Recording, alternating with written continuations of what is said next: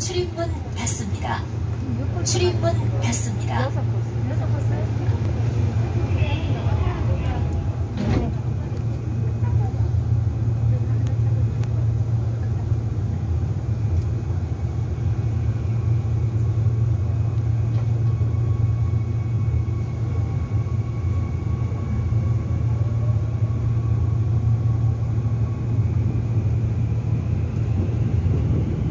다음 역은 신당, 신당역입니다.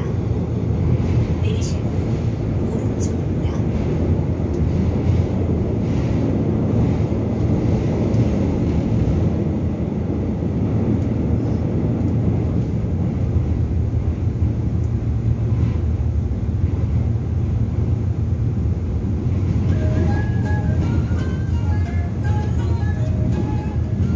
이번 역은 신당, 신당역입니다.